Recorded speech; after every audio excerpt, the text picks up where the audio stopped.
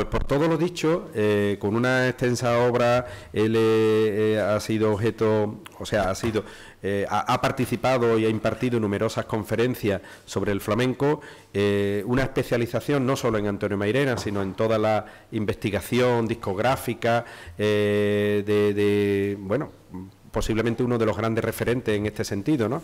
Y para nosotros es un lujo y un placer tenerte aquí y compartir contigo un título que tenía yo ganas precisamente eh, a la hora de, plantear este curso que estuviera Antonio Mairena como pieza fundamental del cante flamenco según Sevilla del flamenco según Sevilla.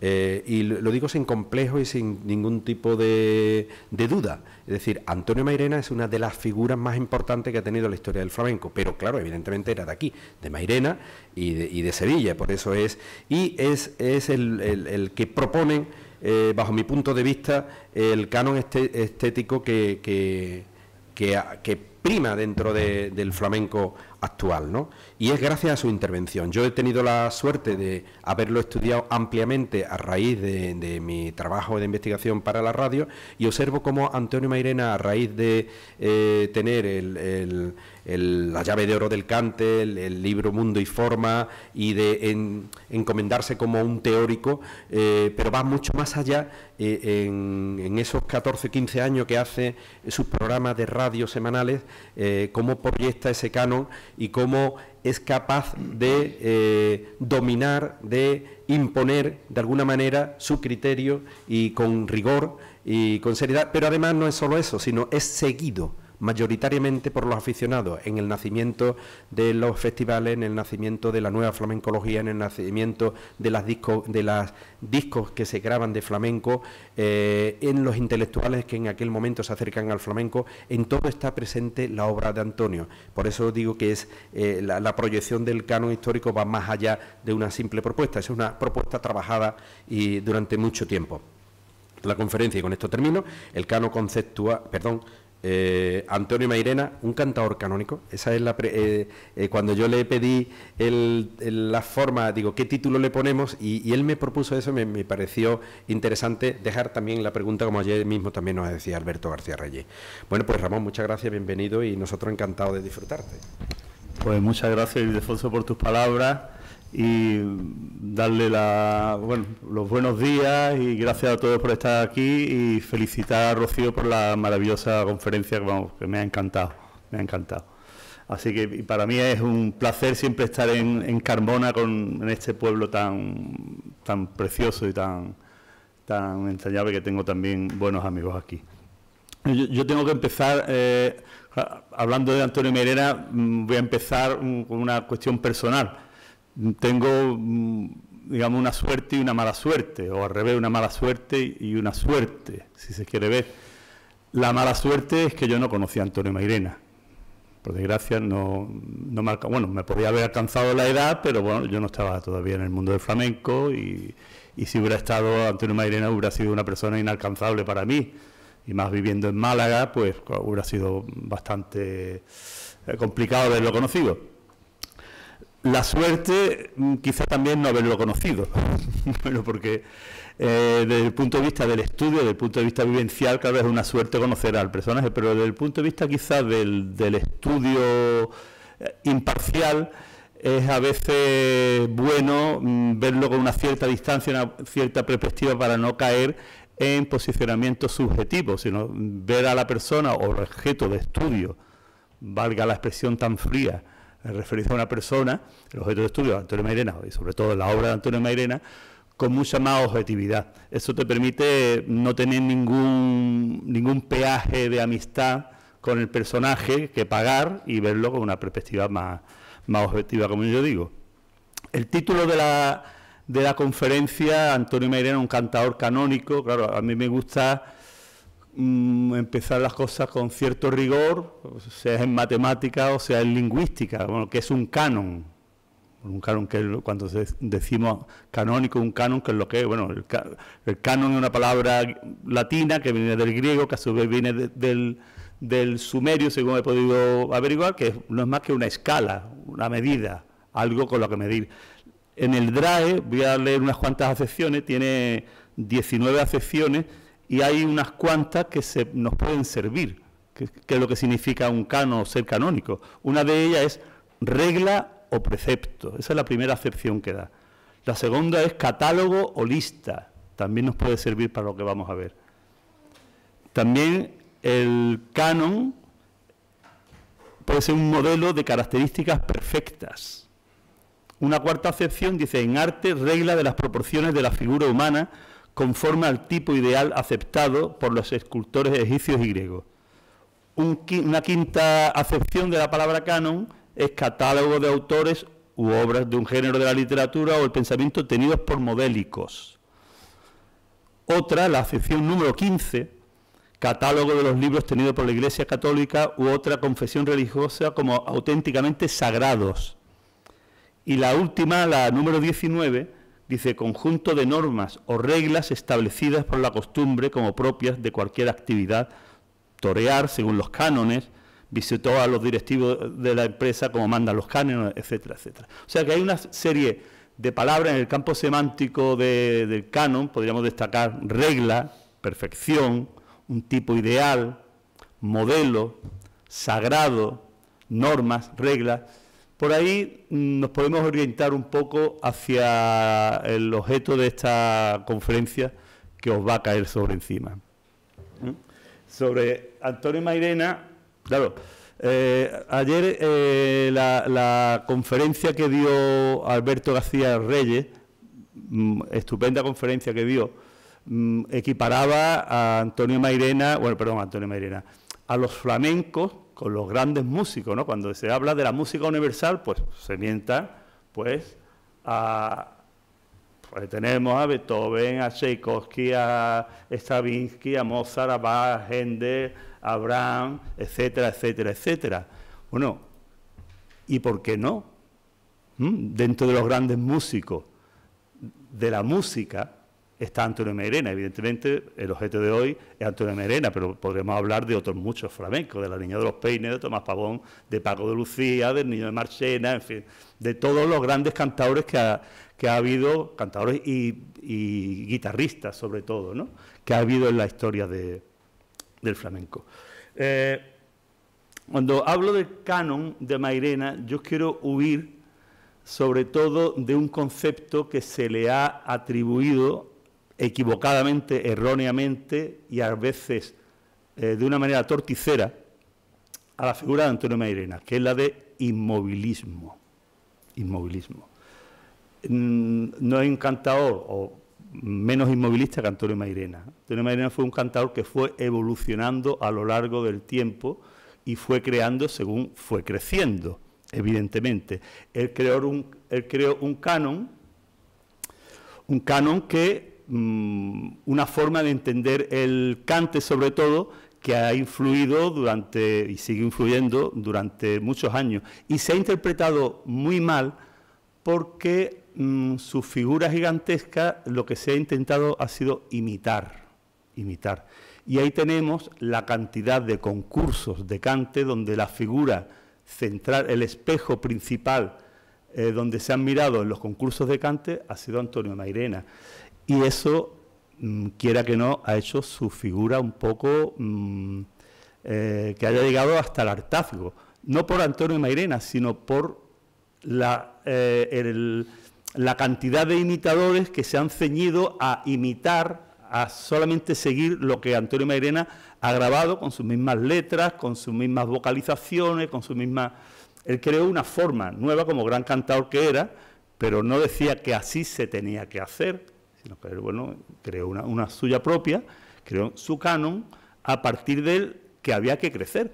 Yo eh, cuento una anécdota personal.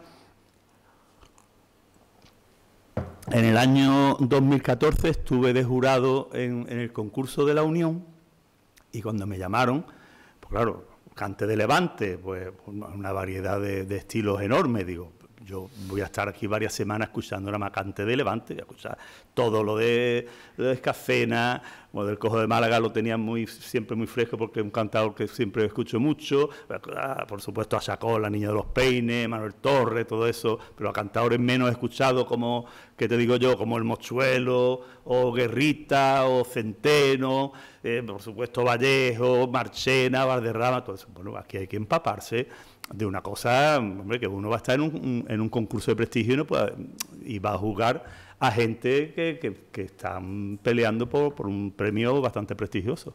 ¿Cuál fue mi sorpresa? Que allí todo el mundo cantaba igual, cantaba lo mismo. ¿Por qué? Porque se había establecido no un canon, sino una regla inamovible de cómo había que cantar los cantes de Levante, con las mismas salidas, con las mismas entradas, con las mismas respiraciones, con las mismas... Claro, eso no es el cante, eso es una momificación del cante. Y eso es lo que ha pasado en gran medida, salvo honrosas excepciones, buenos días, con la figura de Antonio Mairena, que muchos han querido momificar, ha confundido lo, lo puro, ese concepto tan voluble y tan discutible y tan, por otro lado, tan fascinante, como ese concepto de, pureza, es ceñirse a lo que hay grabado. No, no, eso es imitación. Una cosa es pureza y otra es puritanismo, que es no moverte de las reglas establecidas y no salirte de ahí y no intentar crear con tus propios, con tus propios mimbres. Ahí tenemos el canon, eso, este pequeño juego con la foto de, colita, valga el, toque humorístico, ¿no? Con el hombre de, de Vetruvio. Eh, el mairenismo. El mairenismo es un concepto o una palabra también muy voluble. Mm, cuando hablamos de mairenismo lo hacemos mm, bajo mucha perspectiva y se confunden. Hay que, hay que distinguir bien los términos y definirlos y acotarlos y ver de qué, de qué estamos hablando. Porque podríamos, yo podría distinguir tres acepciones distintas de lo que es el mairenismo tres, concepciones distintas.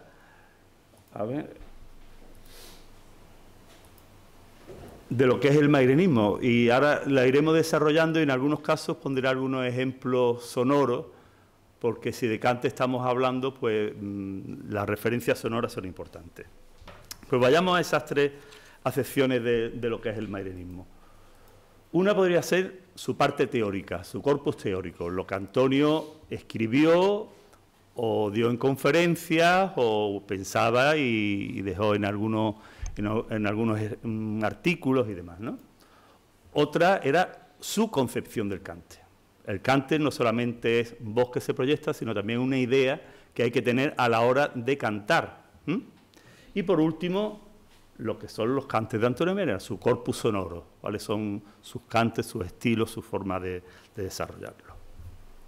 En cuanto a las teorías, eh, empezamos desgranando, esta es la parte que voy a tocar menos. Cuando se habla mm, del mairenismo, pues se habla de la idea que tenía Antonio Mairena de los orígenes del cante. Hoy en día las investigaciones sobre, sobre el mundo del flamenco han avanzado de una manera extraordinaria en los últimos 20, 25, 30 años, gracias a la eh, entrar en, los archivos sonoros, en los archivos de hemeroteca, de biblioteca, de los musicólogos, eh, filólogos, historiadores, etcétera, etcétera, etcétera. Las teorías que tenía Antonio Mairena sobre el origen del cante evidentemente están desfasadas, pero es que es como las que tenían en los años 50 y 60 todos. Todo el mundo tenía unas teorías que hoy en día pues, se han visto superadas porque es que la ciencia, y si consideramos esta palabra que a uno le gusta más, a otro menos, la flamencología, los estudios del flamenco, es algo que es imparable, va evolucionando evidentemente. Otras son las etapas, como Antonio Mairena establecía las etapas del cante, que si la guitarra se incorporó, el, cante estaba sin guitarra, luego se incorporó. Eso evidentemente se ha demostrado que no es así, que no es así y no pasa nada. Entonces, pues mm, como, se ha visto que la, guitarra flamenca no es más que una heredera de la guitarra romántica, a su vez heredera de la guitarra barroca, que bebe en la fuente del Renacimiento, y ha habido una evolución, solamente escuchar una secuencia lógica de una serie de, de armonías, de cadencias, de ritmos, etcétera, etcétera, con esa influencia fascinante que cada vez se estudia más, la influencia americana en el cante, en, lo que es el flamenco y la música flamenca, y eso es algo que Antonio Mairena tenía y todos los eh, autores de los años 50 y 60 compartían. Una cosa que también propia de Antonio Mairena, o donde Antonio Mairena eh, peleó bastante, era la taxonomía de los cantes. Lo que él hablaba de los cantes gitano andaluz y el cante flamenco, que tampoco él lo termina de inventar. Eso es algo que, por ejemplo, falla cuando celebra el concurso, que ahora se está celebrando el centenario, habla lo del cante hondo y el cante flamenco. Bueno, y, falla una figura intocable, porque hoy en día si uno escribe un libro y no empieza metiéndote con Antonio Mairena, el libro ya tiene menos valor. Lo primero es Antonio y Mairena, bla, bla, bla, y luego ya vamos a contar lo que sea, vamos a hablar de los pájaros de color o lo que sea, pero el primer texto principal es y Antonio dijo esto, esto, esto, y estaba equivocado. Solamente era Antonio Mairena, los demás no. La taxonomía de los cantes es una taxonomía, en algunos casos que se vea a lo mejor mm, medianamente claro, porque evidentemente una segrilla de Manuel Torres no es lo mismo que una milonga de Manuel Centeno, porque son dos maneras, dos estéticas distintas, y eso es lo que intentó Antonio Mairena como deslindar, claro como toda separación teórica es, mm, a veces es injusta y confusa, porque donde pone la raya es muy difícil, es muy difícil. esto de la taxonomía de los cantes también, eh, don Antonio Chacón, en la, célebre eh, al calor del, concurso del año 22, cuando le hace Vagaría una entrevista, y le dice, don Antonio, ¿cómo va ese cante hondo? Claro, se estaba hablando de cante hondo. Y don Antonio Chacón, el gran cantador, el gran maestro no gitano de Jerez, dijo, alto ahí, ¿cómo que cante hondo?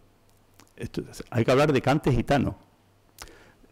Ciertamente, Blas Vega, en 1986, cuando se hace, su gran eh, biografía de don Antonio Chacón, pone esa entrevista, esa frase la quita. Veo, hay también un interés en eh, driblar algunos de los aspectos confusos cuando no te cuadra todo el, eh, las pinturas en el marco. ¿no?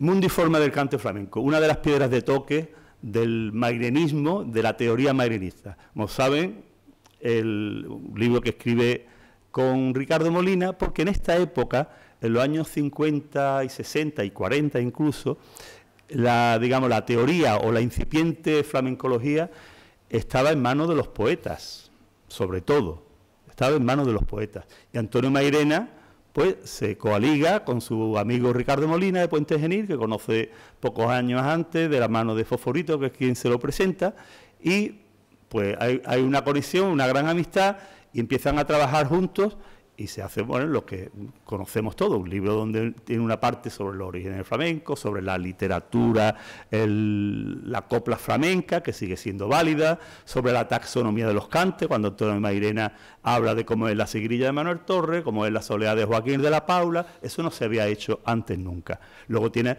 sus teorías sobre la incorporación tardía de la guitarra, cosa que ya evidentemente no tiene sentido, o la etapa hermética, con todo lo que hemos estado viendo, una etapa hermética del flamenco, el flamenco siempre ha estado a la luz pública. Otra cosa es que el flamenco se pueda manifestar de una forma hermética, o se quiere privada o cerrada, y una de cara al público. Eso pasaba en 1850, 1860 y en 2022. Podemos ir a un festival o podemos estar en, una boda, en unos dichos, una reunión entre amigos, y se canta de una manera muy distinta de una forma y otra. Incluso los repertorios pueden ser distintos. ¿Qué pasa con Mundiforma del flamenco? Se le llamó la Biblia del flamenco. Ese libro es del año 1963, o sea que va a cumplir ahora 60 años. El otro día me llegó un correo electrónico de nuestro querido amigo Emilio Jiménez Díaz y Katy León para haciéndome una serie de preguntas sobre este libro porque querían hacer como una edición crítica o querían hacer como una valoración. Me llamó la atención porque es el único libro de flamenco al que se quiere revisar. No se quiere revisar Luces y Sombras del cante flamenco de Caballero Bonal, no se quiere revisar las memorias del flamenco de Félix Grande, no se quiere revisar el, libro de teoría del cante hondo, creo que se llamaba, de Hipólito Rossi, no se quiere revisar eh, otros manuales de flamenco, que por, supuesto lo de González Climen, libros que no tienen fundamentos científicos, porque Antonio Mairena, no lo olvidemos, y Ricardo Molina, no lo olvidemos, no eran investigadores. Uno era un poeta, un poeta extraordinario, un escritor extraordinario, y Antonio Mairena era un cantador extraordinario, con unas vivencias flamencas eh, enormes, pero no era un investigador. Antonio Mairena no iba como puede hacer Rocío, puedo hacer yo, puedo hacer tú que va, investigando en archivos, en documentos sonoros recónditos, en bibliotecas, en ver dónde está alguna fuente documental. Antonio Mairena pues bebía de la tradición oral y la interpretaba según sus intereses. ¿Sus intereses cuál era? Volcar la balanza de lo que había sido la ópera flamenca, donde las voces blancas, el fandanguillo, la, las milongas, las guajiras, etcétera, etcétera, había sido los cantes mayoritarios y él había hecho el contrapeso necesario o más que necesario, ineludible ya en esa época de volcar la balanza hacia otro lado. Cosa que no había empezado, por supuesto, Antonio Merena, que ya se había comenzado con la antología del cante flamenco que hizo eh, Andrade Silva con Perico del Lunar, la famosa antología de Ducretes Thompson y luego de Hispavó, donde se ponían en valor, como se dice ahora, o se querían dar a conocer una serie de cantes, porque no eran conocidos. Había una operación de rescate de formas, de cantes. Y el concepto novedoso, porque hasta estos cuatro puntos que yo pongo aquí los compartía Antonio Mairena con otros estudiosos o poetas o gente que se arrimaba al flamenco, de alguna manera las compartía. Antonio Mairena tiene una concepción muy personal y esto es única en él. La famosa, polémica y mal entendida razón incorpórea. Eh, a mí me hace mucha gracia cuando a muchas personas le hacen gracia esto. La razón incorpórea es un concepto que bueno eh, aparece en la obra de consolación a, Elvia de, Séneca, que evidentemente Antonio no lee a Séneca, pero Ricardo Molina sí, él era profesor de latín en Córdoba y conocía la obra de Séneca y en alguna de las conversaciones de Ricardo Molina con Antonio Mairena saldría a colación eso y Antonio Mairena, como persona inteligente que era, dice, ¿esto es lo que es? Espera, yo esto me lo, me lo quedo, me lo guardo y yo voy a inventar algo aquí. No voy a inventar, sino que Antonio necesitaba, perdón, era una persona que cantaba, pero tenía una necesidad, una necesidad eh, que no era la habitual de los demás cantadores, sino quería saber por qué cantaba. Quería trascender el cante. No eh, la niña de los Pines cantaba como cantaba, mm, como los dioses, don Antonio Chacón, Tomás Pavón, etcétera, toda la playa de cantadores de la época de Antonio y Mairena, pues eran mm, genios del cante, pero no eran gente, personas que se pusieran a reflexionar sobre lo que cantaban, por qué cantaban, para qué cantaba, qué motivaciones tenían. Antonio Mairena acuña una eh, teoría trascendente del cante y la, basa en su gitanería. Antonio Mairena es hijo de gitanos y él cree que, digamos, toda su fuerza, eh, no digo fuerza física, sino fuerza espiritual, fuerza moral, eh, fundamentos eh, conceptuales de lo que es su cante, se debe a su, a su condición de gitano. Esto, evidentemente, una cosa para él, es como mm, negarle la creencia en Dios a San Juan de la Cruz para hacer su poesía mística. ¿Tú cómo te vas a meter con la, digamos, cómo te vas a reír o cómo vas a criticar, digamos, la fe de San Juan de la Cruz si lo que produce es una maravilla? Entonces, Antonio Mairena no le dice a la gente, oiga usted, usted tiene que creer en la razón incorpórea para cantar. No, no. Antonio Mairena lo que dice, yo tengo un sentimiento íntimo, que yo llamo razón incorpórea, que algunos confunden con el duende, pero no tienen nada que ver, que me sirve a mí para eh, llegar a mis antepasados, llegar, digamos, como un salto en el tiempo y recrear lo que yo creo que era el cante hace 80, 100 años, en la época de Tomás el del Fillo del Planeta, con algunos hilos musicales y esa, digamos, esos fundamentos gitanos míos, proyectarlo hacia adelante y crear una cosa distinta, porque cuando Antonio Mairena graba seguirillas del Nitri, evidentemente eso cualquiera sabe cómo cantaba el Nitri. O cuando hace eh, lo del fillo, eso de mataste a mi hermano, eso, la famosa anécdota de que con Fernando Quiñones, que le dice Antonio, esto tú de dónde te has sacado esta seguirilla, y le dice Antonio, bueno, esto es un hilito que yo cogí de una vieja, Antonio siempre ha de una vieja, siempre había una vieja por medio, ¿no? Una vieja yo cogí un hilito y, le dice Quiñones, pero Antonio es lo que nos ha entregado un mantel. tú lo, lo, que has creado con el hilito. O sea, Antonio Mairena no se permitía decir que esto es mío. Y no por inmodestia, no por ningún artista es inmodesto. Perdón, no por modestia, ningún artista es modesto. Los artistas tienen un ego importante, si no, no son grandes artistas, sino por estrategia. Antonio Mairena sabía que si uno tenía el valor y el caché y el marchamo de antigüedad, aquello en esa época, en los años 50 y 60, donde había una, una, fiebre por buscar lo antiguo, aquello entraba por la puerta grande del cante. Y él quería huir también de todo lo que supusieran creaciones personales, huyendo por ejemplo, de todo lo que había supuesto el niño de Marchena, Manolo Caracol, Pepe Pinto, los grandes ídolos de la, de la ópera flamenca, donde todos los años aparecía una creación personal, muchas veces compuesta por eh, autores, eh, Quintero León y Quiroga, o letristas como Mezquita, etcétera, etcétera. Antonio Mairena siempre alguien que se la zapateó él solo, buscando su música y sus letras, salvo los primeros discos de Pizarra, donde hace algunos cuplés por bulería escrito para, ser cantado. Y la relación incorpórea es muy importante en Mairena, no por el fundamento teórico, por lo menos para mí, sino por lo que produce ese fundamento teórico, que es obra de arte. Voy a poner aquí un ejemplo sonoro, que es del último disco de Antonio Mairena, El calor de mi recuerdo, que es un disco, como todos sabemos, es póstumo. Antonio no pudo llegar a, ver ese disco, que, mm, bueno, pues lo hizo en dos tardes, una de prueba y otra definitiva.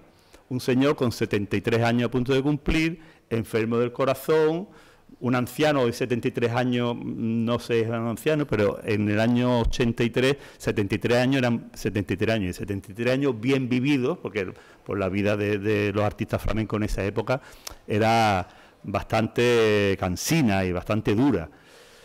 Sin la razón incorpora de Antonio Mairena, yo hablo desde la, óptica de Antonio Mairena, no desde una posición científica, sino de la concepción mm, subjetiva de Antonio Mairena, Antonio Mairena no podría haber grabado así. Por ejemplo, voy a poner esta letra, una, sola, una sola de la tona última de Antonio Mairena. No se puede abrir el archivo. Houston, tenemos un problema. A ver.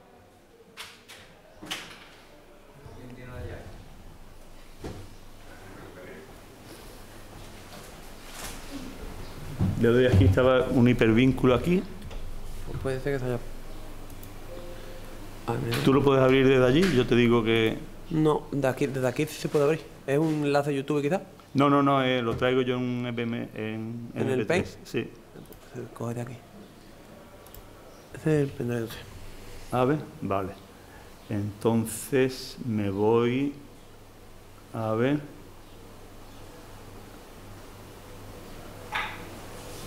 Vamos a ver. Aquí.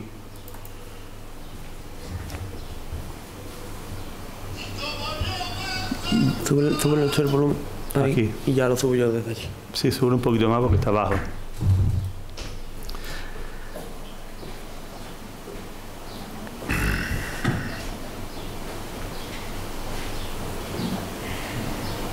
¿Lo has subido ya? Sí.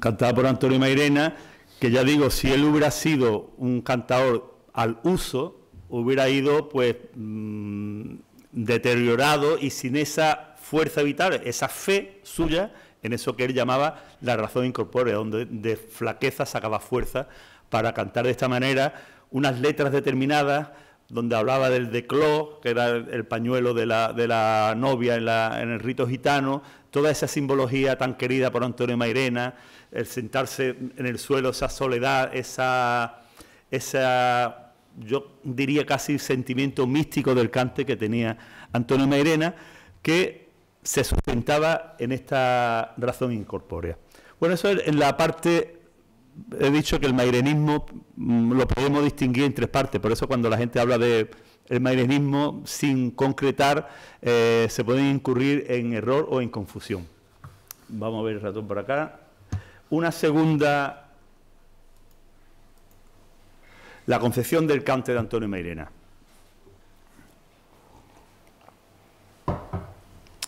Antonio Mairena, evidentemente, lo que intenta es una reinvención, una reformulación de la tradición, de lo que él recoge, y no se limita a imitar. Antonio Merena no imitó nunca a sus maestros.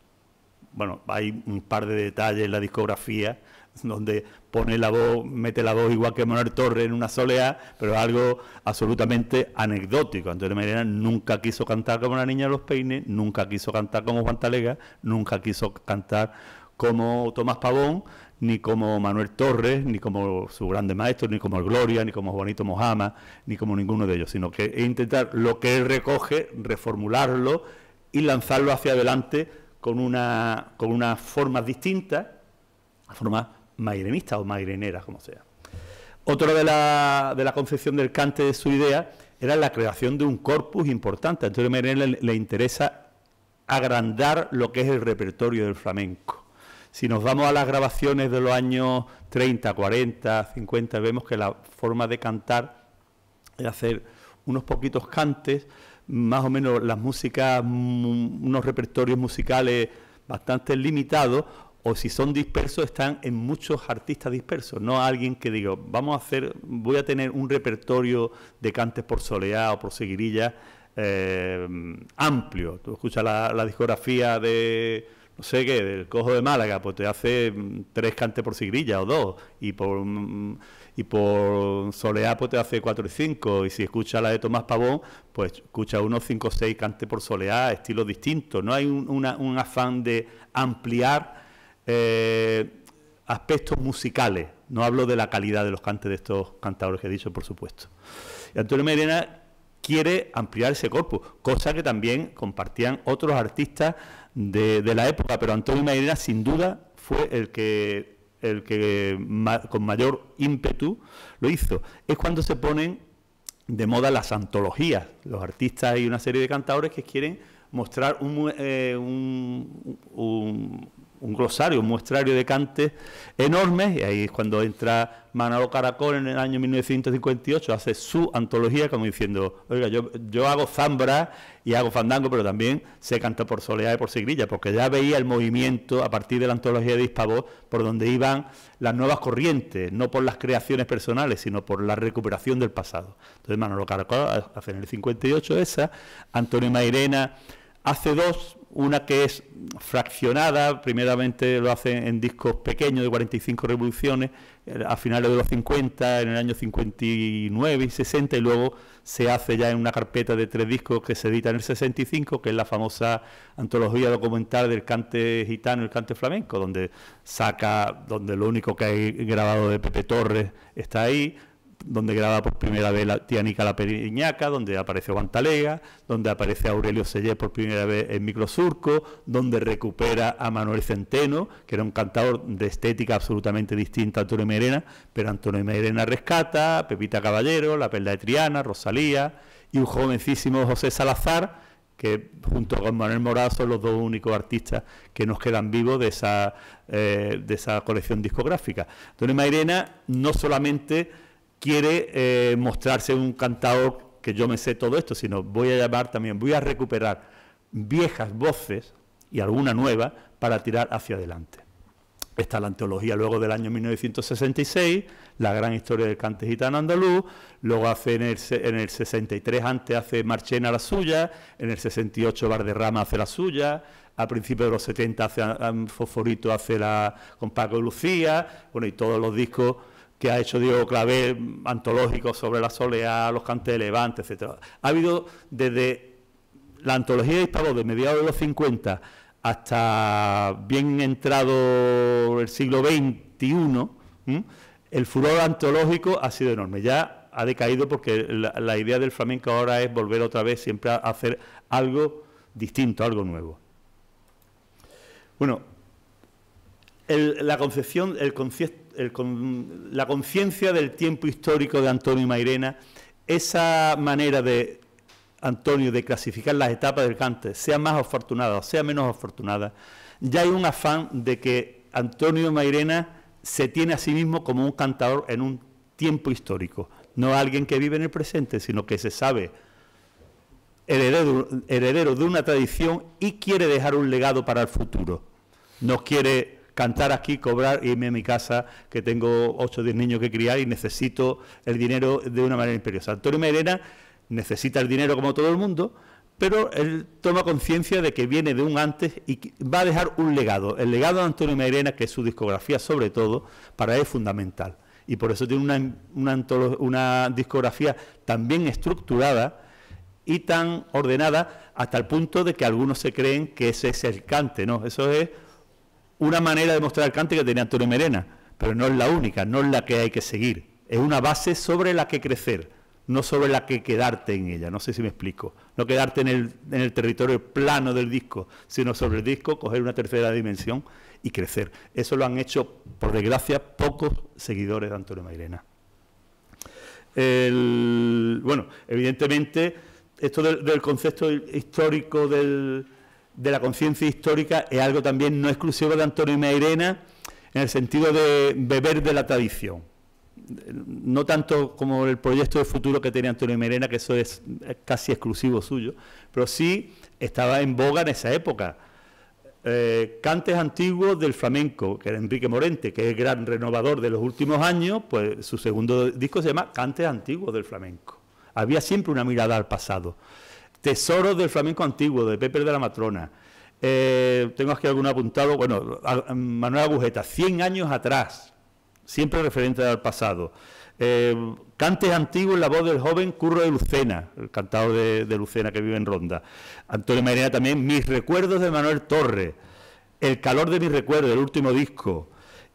Cosa que, fijaros, esta paradoja, este, este disco que se llama Mis recuerdos, eh, El calor de mis recuerdos, o sea, de mi pasado, que Antonio Mairena tenía eh, en mente un título absolutamente distinto Fíjense esa dicotomía entre pasado y futuro en la obra de Antonio Mairena. Antonio Mairena le iba a llamar a ese disco Antonio Mairena, su cante para el año 2000. Estamos en el año 1983. O sea, estamos hablando, pues, 17 años antes de que llegue el siglo XX. 17 ¿Mm? no. Sí, sí, 17. 17 años, que soy matemático, hombre. 17 años antes del, siglo XX. Entonces, bueno, del año 83, y Antonio Mairena dice, mi proyección, mi cante para el año 2000. Antonio Mairena sabía que al año 2000 no iba a llegar, pero decía, este va a ser mi legado. Y luego le puse el calor de mis recuerdos. Esa bisagra entre el pasado y el futuro en Antonio Mairena ha sido siempre muy productiva. Y, eh, y por último, a ver, el siguiente punto, bueno, el modo de recibir los cantes, el aprendizaje. El aprendizaje de los cantes, como todo el mundo, pues lo aprende de, por varias fuentes, pues discografía, eh, cantadores mayores, eh, básicamente en, esa, en esas dos, compañeros coetáneos, evidentemente, ¿no? Pero la idea eh, de concebir o de recibir los cantes Antonio Mairena la consideraba, sobre todo algunos cantes, lo que llamaba el cante gitano andaluz, no un cante por malagueña o una farruca donde está claro que, bueno, está una discografía ahí, coge la discografía y la reinterpreta de una manera distinta, pero basado en, uno, en otros soportes. Los cantes que él llamaba eh, gitano andaluces, por ejemplo la seguirilla, hay un caso muy claro que es la seguirilla del Mitri, que eh, cuenta en, las confesiones de Antonio Mairena, que él la aprende de Diego de Brene. Pero Antonio Mairena no dice, aprendí esta cante, este cante o esta música de Diego de Brena, sino me fue revelada. Me fue revelada, como un secreto, como un algo oculto que él tenía que transmitir, que se lo dio en un cofre dorado y él tenía que lanzarlo hacia, hacia adelante de Tomás Nite. ¿Por qué? Porque era su predecesor en la llave de oro o, o la llave del cante salta la de Vallejo, va la del Nite, que es gitano, y él quiere, con su simbología gitana, recuperar ese cante de la anterior llave gitana del cante, que fue Tomás el Nitri, y ese, ese cante tan interesante, tan magnífico, por otra parte, como del Nitri, él no lo aprende, él, lo, él se le revela. Es como una cosa divina, es como gracias a, eh, lo traspasa, es gracias a la razón incorpórea, él lo asume y lo rehace y lo relanza. Esto es también una manera distinta, Antonio Mairena, de concebir eh, el aprendizaje. Otros cantadores decía Rafael Romero, el gallinés, pues he mangado este cante de Pepe Torres, la, la del planeta, se lo mangué. Una, expresión más, coloquial y que lo puedo usar, pero fíjense la, la diferencia entre mangar un cante y ser revelado. Al final aprende la música, pero es la concepción de una cosa y de otra.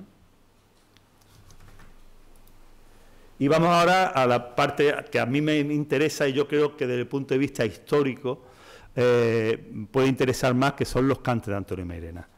Los cantes de Antonio Mairena, porque es el corpus en el que se basan eh, muchísimos cantadores, incluso que critican a Antonio Mairena, no voy a citar a ninguno, pero hay grandes cantadores hoy en día, y yo lo he escuchado por su boca, criticar a Antonio Mairena y luego hacer seguirillas de Antonio Mairena bueno, ¿en qué quedamos? ¿no? Tienes un, problema, o no sé qué ha pasado con la figura de Antonio Merena, que cayó en desgracia a partir de la nueva flamencología, que digamos la flamencología científica, donde se ha ido a degüello contra la teoría de Antonio Mairena de una manera inmisericordia, sin saber contextualizar en los años en que Antonio Mairena escribió sus libros. El legado, el legado sonoro de Antonio Mairena es un fundamento del cante. Lo mismo que un fundamento del cante la obra de don Antonio Chacón o de la Niña de los Peines, sin los cuales el cante moderno, pues yo diría que estaríamos muy tocados, muy tocados. Antonio Manera siempre fue un cantador que huyó de barroquismo, porque es de lo que huía en la etapa anterior, en la etapa donde las voces, las filigranas sonoras eran lo que primaba, lo que llegaba a los grandes públicos. Eh, dos de los grandes eh, sostenedores de la época de la ópera flamenca, sin duda fue El Niño de Marchena y Manolo Caracol. Mairena buscaba la línea esencial de los cantes. Vamos a verlo eso en algunos ejemplos sonoros. Vamos a intentar ahora aquí, entre un mismo cante, cantado por eh, Pepe Marchena, el niño de Marchena, y Antonio Mairena. Una granaína, un cante que no era, digamos, muy habitual en el repertorio de Antonio Mairena. Lo grabó y lo grabó muy bien.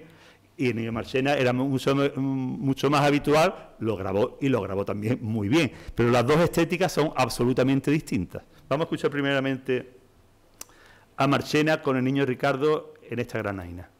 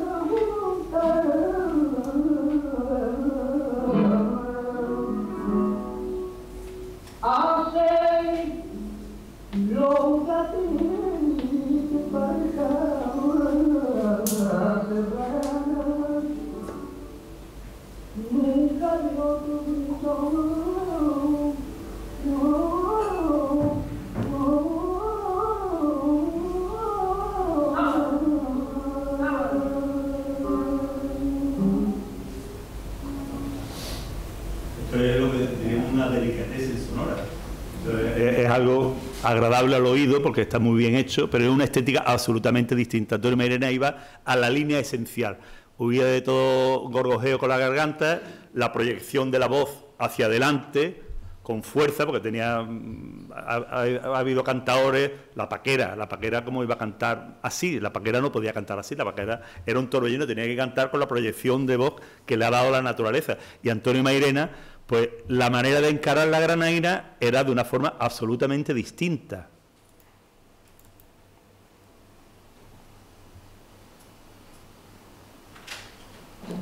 Anda, no se escucha. Pero empezamos.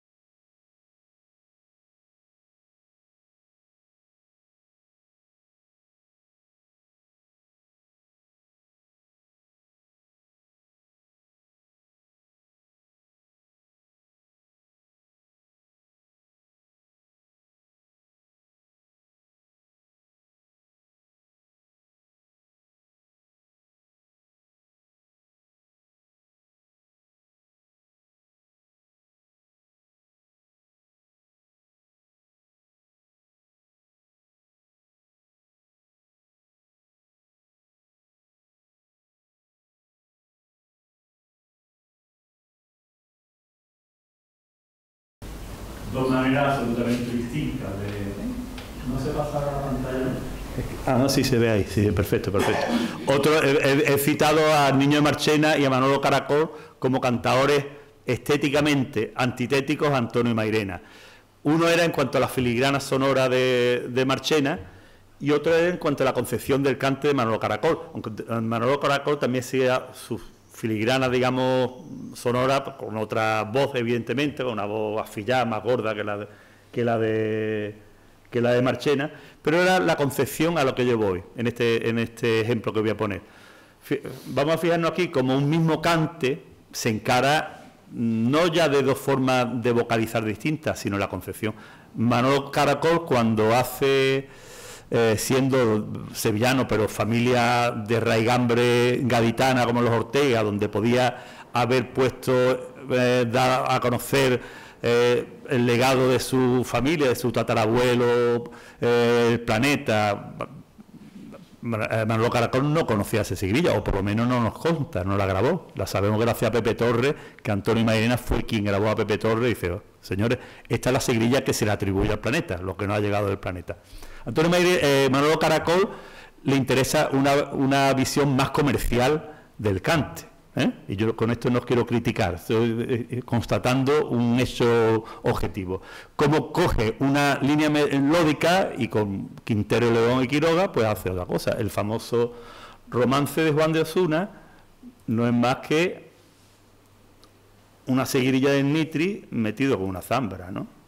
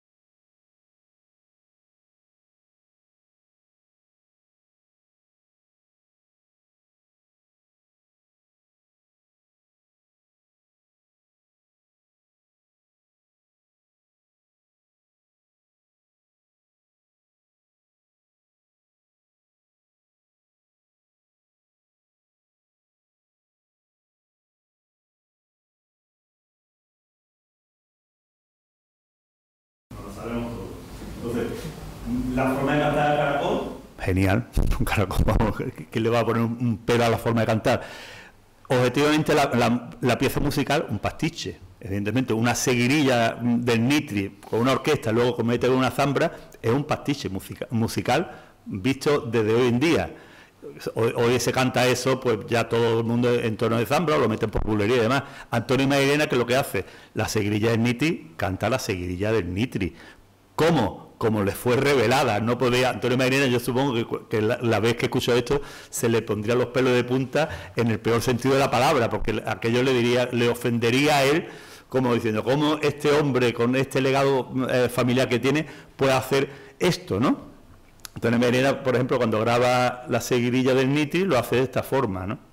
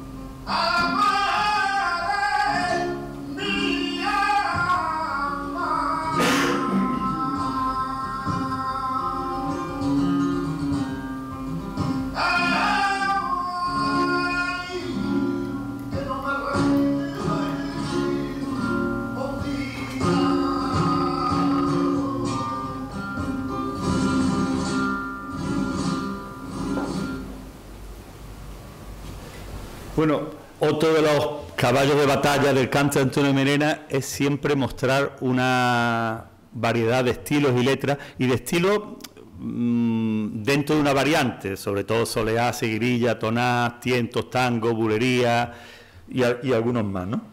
Porque por, malagueña no se prodigó, hizo un par de estilos de malagueña, por granaína un poco más, por fandango algunos, en esos, en esos tipos de cante Antonio Mairena no fue su pilar fuerte, aunque los conocía, lo hacía, los fandangos de Huelva era bastante largo, aunque no dejó una gran producción de fandango de Huelva, porque él vivió en Huelva y lo conoció a Rengel y a, los, a los grandes creadores del fandango de Huelva, pero él tenía su parcela del cante, lo que le llamaba sobre todo el cante gitano andaluz, que es ahí donde fue más prolífico que nadie, donde ha dejado el corpus sonoro más importante. Y para Antonio Mairena eso era fundamental mostrar una serie de, cantes que, que, ampliara la paleta musical. Un ejemplo, que está aquí mi, amigo Antonio Hermosín, que es un gran cantador de, Alcalá y conoce el cante de Alcalá como poco.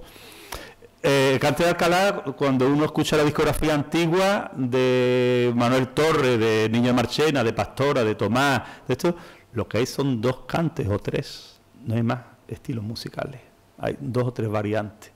Antonio Mairena, cuando hace en 1966 la gran historia del cante gitano andaluz, una serie pone Soleares de, Alcalá, creo que de Alcalá y Marchena, creo que, titula, y hace 15 letras, músicas distintas, 15 músicas distintas, algunas parecidas, otras recreadas, otras, pero da un corpus sonoro tan amplio que decir, señores, Aquí, ¿cómo se hace eso? Investigando e inventando. Inventando con base, con conocimiento de causa, con conocimiento de la tradición. Tiene que hacer eso. Y los cantadores anteriores se ceñían a lo que tú escuchas Manolito María y te hace cuatro variantes de solea o cinco, y escuchas Juan Talega por Alcalá y hace dos o tres más, que te desliza alguna de Triana y poco más. Entonces Mairena entrega un corpus sonoro enorme. A todo esto, la preocupación de Antonio Mairena por las letras. Entonces Mairena era una persona que no tenía formación académica, en la, escuela apenas la pisó, pero tenía una inteligencia natural mm, extraordinaria y una voluntad de aprender eh, pues que no tenía límites. Su lectura de cancionero, de, de Mófilo, de Rodríguez Marín y de otros muchos, le sirvió el, libro Canteondo de Manuel Machado, donde Antonio Mairena coge muchas letras, luego se, las apunta él, de hacer un apaño, de hacer el truquillo de apuntárselo él, pero él, y han pasado a la tradición, eh, se han hecho tradicionales gracias a Antonio Mairena, que se creen que son eh, populares o anónimas y, no, y son de, de autor conocido, algunas de las que hace Antonio Mairena. Antonio Mairena está muy preocupado en que la letra case bien con la música y en ofrecer en cada recital cosas distintas. Si la, discografía de Antonio Mairena es amplia, afortunadamente tenemos muchos registros sonoros en directo, donde nos sorprende cada vez que nos cae una grabación en directo de Antonio Mairena, digo, anda, pero si esto no lo había escuchado antes, ni está en sus discos, ni en las 200 horas de música en directo que tengo Antonio Mairena una letra distinta, eh, forma de cuadrar cante distinta, porque Antonio Mairena estaba siempre insatisfecho con lo que hacía, quería crecer, no era alguien momificado, claro, los cantadores que imitan a Mairena, cogen el disco de Mairena, solo estudian y de ahí no sale. Antonio Mairena no era eso. Antonio Mairena crecía en cada actuación. Y además tenía la habilidad de, mm, eso lo describe muy bien Juan Antonio Muñoz Pacheco, el guitarrista de, Aranjuez, que era muy amigo de Antonio Mairena, lo describe en un libro muy bien, es pura teoría combinatoria, perdonadme el, paréntesis matemático, es, si tú tienes un bombo, eh, te salen mil letras por soleá y 50 músicas por soleá, las combina y tiene 50.000 maneras distintas de cantar por soleá, sencillamente. Y si tú ahora los puedes ordenar de distintas maneras, pues entramos en el mundo de las permutaciones, los factoriales para los matemáticos. Y si los puedo escoger de distintas maneras, tenemos la combinatoria de los matemáticos. O sea, tenemos casi, podríamos hacer un problema de combinatoria donde con todas las músicas que sabía Mairena y todas las letras que, que sabía Mairena, podría ofrecer millones y millones y millones de recitales distintos. Por eso siempre que nos cae algo de Antonio Mena es distinto. Ahora tú coges, no vamos a citar nombre, un recital de un cantado que esté hoy en día y lo escuchamos el año que viene y dentro de tres meses y te va a hacer prácticamente las mismas letras y seguramente en el mismo orden. Son conceptos muy distintos. Otra, otra, bueno, otra cosa antes de que se me olvide es su evolución a la forma de cantar no solamente en esta en lo tocante a los, estilos y las letras, sino su crecimiento como, como cantador, cómo evoluciona su forma de cantar. Pongo un ejemplo para que se me entienda. Uno escucha a un gran maestro del cante como fue Pepe de la Matrona. ¿eh? Recuerdo que Chano eh, me decía, sobrino, ¿sabe cómo era el cante de los cafés cantantes? Escucha a Pepe de la Matrona. Así era, ese era el cante. Y Pepe de la Matrona era, mm, se me permite y no se me interprete mal la, la, expresión, era como una momia viviente, digamos, como un fósil viviente. Era cómo se cantaba en esa época. Y lo demuestra su discografía, si uno escucha a Pepe de la Matrona, en lo que hay de García Matos, que lo grabó en 1947, y escucha lo último que grabó en el año 1976, canta exactamente igual. Es una reflexión maestra del, que todo buen cantador tiene que aprender porque hay un repertorio importantísimo. Pero yo, voy a la forma de cantar y donde cada letra siempre va con el mismo estilo. Antonio Merena, esta letra la podía cantar con un estilo, con otro, con otro. Es una concepción más artística y más moderna y menos tradicional, aunque Antonio Mairena se lo tiene como gran cantador tradicional, no, mucho más tradicional era Pepe de la Matrona. Antonio Mairena cogía una letra por soleá y te la metía mejor por tiento, o por bulería, o por malagueña o por tango, etcétera, etcétera. Entonces era una visión mucho más artística y creativa de lo que es el cante. Luego Antonio Mairena fue importante también en el baile atrás, la manera de concebir, gracias sobre todo al tiempo que estuvo con Antonio Ruiz Soler, con Antonio el bailarín o, Antonio el bailador, como queramos llamarlo, el cante atrás evolucionó mucho. Eso siempre lo dijo Matilde, o lo dice Matilde Coral, y Chano Lobato también lo decía, la forma de montar los cantes con la primera figura del baile que había, que era Antonio, que era la figura internacional, Antonio Mairena. Antonio el bailarín no podía llevar mm, cualquier cantador ni hacer, hacer el cante de una manera básica, tenía que aquello una construcción sólida y potente. ¿Quién? Pues fue Antonio Mairena. La sintaxis del cante, yo hablo de sintaxis, la, a la manera de ordenar, de codificar y de ir ganando una cosa con otra en el cante atrás, es lo que acabo de decir. Antonio Menena le montaba lo que es el cante a Antonio el bailarín para que desarrollara sus martinetes o sus seguirillas, sus soleados, sus cantiñas, a, a, partir de lo que Antonio Mairena cantaba. Pero si era importante eso en el baile atrás, donde fue una, época, eh, la primera parte de su vida, a partir de finales de los 50, cuando Antonio ya se independiza del baile y pasa a ser ya la figura del cante que, fue, llegamos a lo que yo llamo que es un concepto fundamental en Antonio Mairena, que es la sintaxis en el cante adelante, en el cante para escuchar. ¿Cómo se construye? No cómo se canta, ya cómo se canta hemos visto algunos ejemplos, sino cómo encara uno un recital. Yo voy a cantar por soleá y qué tipo de soleá canto. Y después de esta soleá, ¿puedo cantar esta otra? ¿Pega o no pega? ¿Cuadra? ¿Hay un argumento sonoro o no? Hay muchos cantadores que se ponen a cantar por soledad, por sigrilla, y hay cosas que luego mm, chocan. Esta soledad está muy bien y esta también, pero aquí esto no, no cuadra. Y eso, Antonio Mairena es el que impone esa reflexión y esa forma de construir. Claro, tú tienes que hacer un disco con 8 o 10 cantes por soledad, tú no puedes cantar a, a tontería loca. ¿Eh? Ayer me comentaba Ildefonso que, que que fue mm, Pérez Orozco, no fue Ildefonso, que le, que le dio a Antonio Mairena a conocer algunos discos de jazz, donde veía que la duración de los discos de jazz pues podrían durar un tema 12 o 14 minutos. Y Antonio Mairena diría, ¿y yo por qué no voy a hacer un corte de disco con 12 o 14 minutos? Bueno, pues hago el romance del Conde Sol o hago seis seguirillas distintas en un de estos. Claro, para hacer seis grillas distintas, mm, tú tienes que cantar, tú no puedes cantar dos grillas seguidas de Manuel Torre la misma música, o una de Manuel Torre y luego una de Nitri que no pega, no había aquello algo que no sonara, que, no cuadraba bien. Traigo un ejemplo muy significativo de, esto, que es una bulería que, hace en el disco dedicado a la Niña de los Peines en el año 69, Honores a la Niña de los Peines y él llama estas bulerías cortas. Y vamos a ver cómo Antonio Meirera construye un discurso de bulería. Uno va a Jerez, por ejemplo, muchos hemos estado en Jerez, hemos estado en una fiesta y, está mm, una hora escuchando bulería y está escuchando las cuatro o cinco variantes de bulería, bulería corta, papá, papá, su patadita por bulería y volvemos a empezar. Bulería corta, bulería corta, juguetillo, patadita y nos recogemos, bulería corta, bulería corta. ¿ves? y, patadita. O te vas a Utrera, te hacen dos bulerías cortas y luego te meten siete cuplés. Es otra forma de encarar la bulería. Antonio Mairena quería construir un, discurso, una sintaxis, una forma de eh, crear el cante, el discurso sonoro. Vamos a escuchar esta bulería donde Antonio Mairena iré interrumpiendo por hacer algunos comentarios, perdona que corte la, la grabación de Mairena, pero iré metiendo alguna cuña publicitaria. Vamos a ver.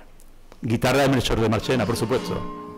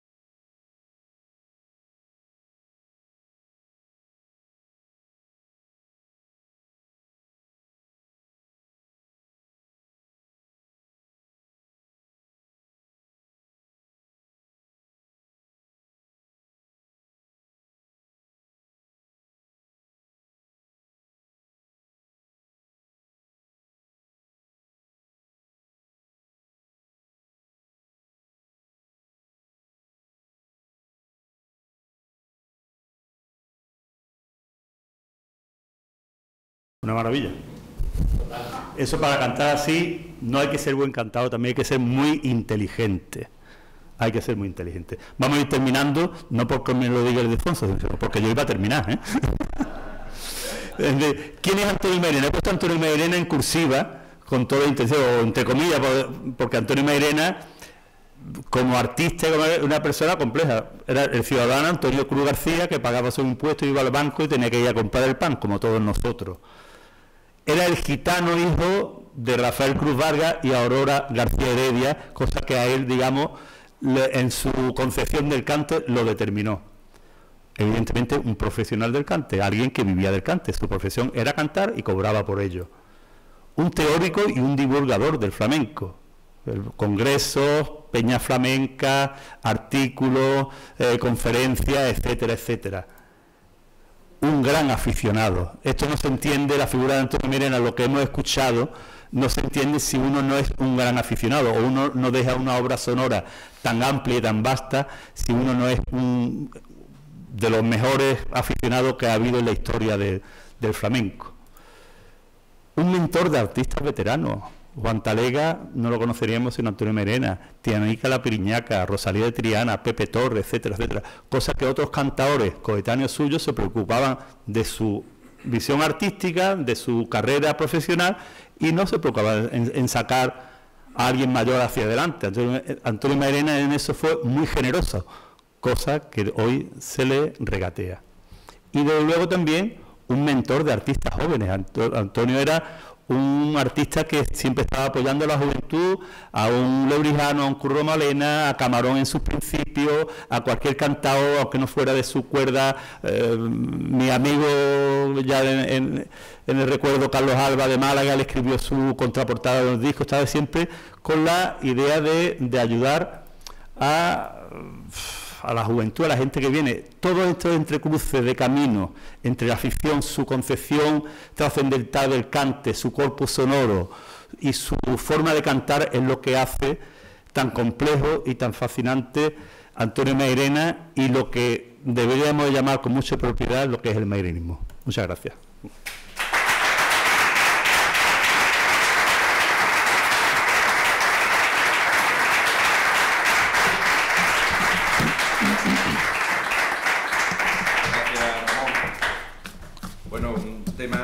Interesante. Nos vamos a ir al café. Si hay alguna pregunta, nos la hacemos en el café. Eh, Ramón ya se tiene que marchar. no, pero la pregunta me quedo. si hay alguien, alguna pregunta. pregunta, por favor. Eh, lo que ha dicho, interesante todo. Esto último que has dicho de apoyar a los jóvenes cantadores, eh, yo en, eso, en ese área, digamos, que la he tocado en el análisis de su obra en la radio, él tenía una constante preocupación precisamente en apoyar a jóvenes y le daba además la plataforma que significaba en aquellos tiempos poder actuar ante un público, en un escenario que era y en un altavoz que era la radio, que en aquel momento era aún mucho más eh, importante y predominante que lo que es hoy, porque era, había muy pocas emisoras y, y gozaba de una audiencia bestial. Es más, la audiencia que Antonio Mairena convocaba. De Radio Sevilla, digo Antonio Merena porque lideraba, no, estaba solo él, había otros cantadores, otros artistas, otros intelectuales, pero él era el alma más sin duda de, aquel programa de radio. La audiencia en medida ya a partir del año 68, 68, 69, hasta, prácticamente los años 80, poco antes de morir, la audiencia que tenía la tertulia flamenca de Radio Sevilla eh, quintuplicaba la, cualquier franja horaria en cualquier día, es decir, el jueves, que era el día que hacían las tertulias, había una audiencia eh, cinco veces superior a cualquier otro día. Y solo en esa misma emisora, y si lo comparamos con las otras, era enorme. Bueno, pues en ese contexto y en ese programa, cada semana o prácticamente cada eh, poco tiempo, llevaba un artista novel eh, y también le servía de plataforma, es decir, le ayudaban a grabar, a ponerlos en contacto con las discográficas eh, por supuesto, el repertorio tenía que estar dentro de los cánones que, estamos, hemos estado hablando y además hacía que se promocionaran y fueran esos artistas los que actuaran en aquellos mm, eh, iniciales espectáculos, festivales flamencos de verano sobre todo, que había lugar. Y te refiero, bueno, pues gente como podía ser desde el mismo turronero hasta, eh, lo cuenta Chiquetete, lo, cuenta, lo contaba Chiquetete, lo contaba el propio Chocolate bueno, el barrio, con todo, que estaba dentro de esa esfera, digamos. Naranjito. eh, el propio Naranjito, que formaba parte de las tertulias, en fin, en definitiva, que en efecto eso fue una preocupación mucho más allá de un cantador, es decir, está la labor en favor de difundir el flamenco, de apoyar a los jóvenes, pero de una forma constante, es decir, esto no es una casualidad, esto es una obra que lo hace, al menos en la radio, la que yo he analizado, que dura prácticamente 14, 15 años, y es una constante a lo largo de toda su obra. Me parece, me parece mucho más... Claro, me parece mucho más trascendente, más generoso por su parte, que es lo que ha destacado, y mucho más importante que un artista no se preocupa de su difusión, que él la tenía consagrada, sino de mm, proyectar a través de la gente joven eh, esto, y no, y no necesariamente todos tenían que ser cantadores gitanos, que No, como no. se ha dicho, es decir, eran cantadores buenos simplemente. Anto- Antonio Mairena le unía una gran amistad, por ejemplo, con Fosforito, que afortunadamente lo tenemos todavía con nosotros, y siempre tenía un respeto mutuo, siendo los repertorios y la forma de cantar distintas, y bueno, sus conversaciones de cante y todo eso, era algo habitual entre ellos. ¿Por qué? Porque eran grandes aficionados, o el propio eh, sobre todo, ¿no? que tendremos mañana aquí, que nos lo puede corroborar, cómo eh, precisamente eh, a través de bueno a través de su obra sin duda, pero en sus inicios a través de estas ayudas. Bueno, pues muchas gracias. A ver, alguna pregunta que se ha quedado por ahí, perdona que te haya eh, Nada, que quería nada, nada. puntualizar esa, esa generosidad que estaba diciendo Ujú. hacia es verdad que era inusual en aquellos tiempos, porque el flamenco mm, precisamente adolecía de ese individualismo eh, que nos caracteriza tanto a los andaluces en muchas cosas, pero en particular a los artistas flamencos también. Sí. Eh, ¿Alguna pregunta que se haya quedado en el tintero? Pues nos vamos al café y muchas gracias Ramón por tu Gracias a vosotros, a vosotros, a vosotros por estar aquí. Gracias.